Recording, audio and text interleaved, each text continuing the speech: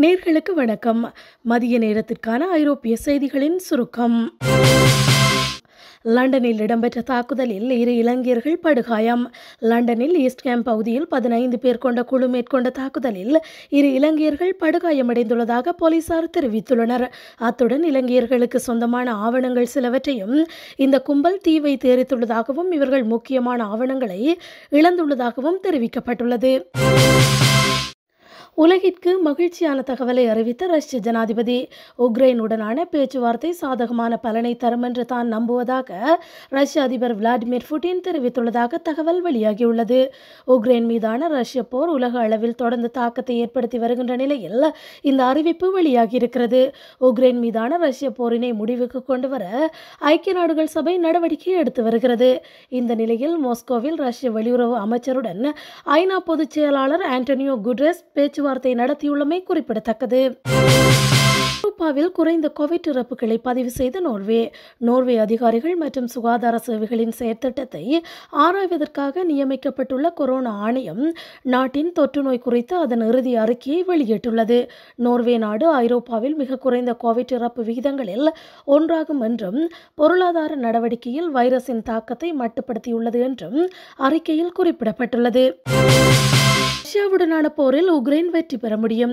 Pentagon அறிவிப்பு ரஷ்யாவுடனான போரில் Ukraine வெற்றி பெற முடியும் என்று நாங்கள் நம்புகிறோம் என பென்டகன் தெரிவித்துள்ளது. ரஷ்யாவை பலவீனப்படுத்த வேண்டும் என்று அமெரிக்கா விரும்பும் நிலையில் உக்ரைன் சரியான உபகரணங்களை வைத்திருந்தால் போரில் வெற்றி பெற முடியும் என்று பென்டகன் தெரிவித்துள்ளது. அமெரிக்காவின் உயர்மட்ட அதிகாரிகள் உக்ரைனுக்கு விஜயம் செய்திருந்தனர். இதன்போது எழுநூறு மில்லியன் டாலர்களை உக்ரைனுக்கு வழங்குவதாகவும் அறிவித்துள்ளமை குறிப்பிடத்தக்கது. தடுப்பூசி திட்டத்தை முடிவுக்கு கொண்டு வரவுள்ள டென்மார்க். டென்மார்க்கின் ஐந்து தசம் எட்டு மில்லியன் மக்களில் சுமார் எண்பத்தி ஒரு சதவிகிதம் பேர் தடுப்பூசியின் இரண்டு டோஸ்களையும் பெற்றுள்ளதாகவும் அறுபத்தி ஒன்று தசம் ஆறு சதவிகிதத்தினர் பூஸ்டர்களை பெற்றுள்ளதாகவும் தெரிவிக்கப்படுகிறது.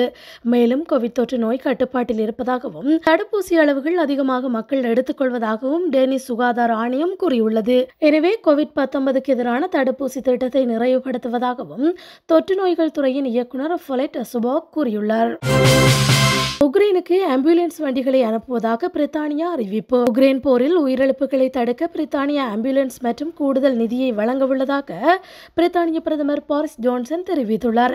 இதன் ஒரு பகுதியாக கூடுதலாக இருபத்தி இரண்டு ஆம்புலன்ஸுகள் உக்ரைனுக்கு அனுப்பப்படும் என்று பிரதமர் அறிவித்துள்ளார். பாரா மெடிக்கல் கிட்கள் மற்றும் மெடிக்கல் கிராப் பேக்குகள் ஆகியனவும் எதிர்வரும் நாட்களில் உக்ரைனுக்கு அனுப்பி வைக்கப்பட உள்ளன முக்கியமான இரு நாடுகளுக்கு எரிவாயு விநியோகத்தை நிறுத்திய ரஷ்யா போலந்து மற்றும் பல்கேரியாவுக்கான எரிவாயு விநியோகத்தை இன்று முதல் ரஷ்யா நிறுத்தவுள்ளதாக ரஷ்யா அறிவித்துள்ளது. எரிவாயு நிறுவனமான ஃபுல்லர் காஸுக்கு புதன்கிழமை முதல் எரிவாயு விநியோகத்தை நிறுத்துவதாக ரஷ்யா அறிவித்துள்ளது.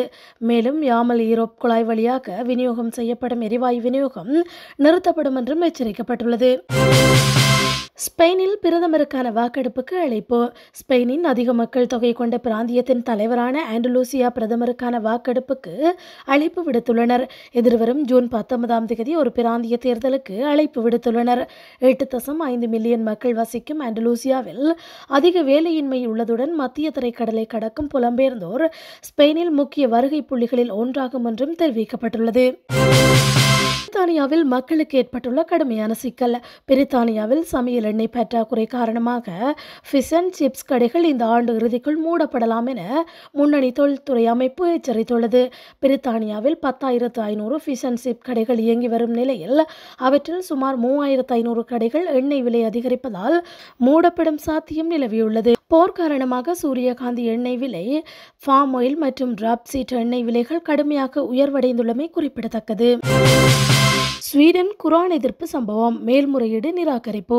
மேற்கு ஸ்வீடனில் உள்ள பொராசில் குரான் எரிப்பு போராட்டத்திற்கு விதிக்கப்பட்ட தடைக்கு எதிராக செய்யப்பட்டுள்ள மேல்முறையீடு போலீசாரால் நிராகரிக்கப்பட்டுள்ளது. ஸ்வீடனில் இஸ்லாமியர்களின் புனித நூலான குரான் எரிக்கப்பட்ட சம்பவம் கடும் அதிருப்தியை ஏற்படுத்தியுள்ளது. பல நாடுகள் இதற்கு கண்டனங்களையும் வெளியிட்டுள்ளமை குறிப்பிடத்தக்கது.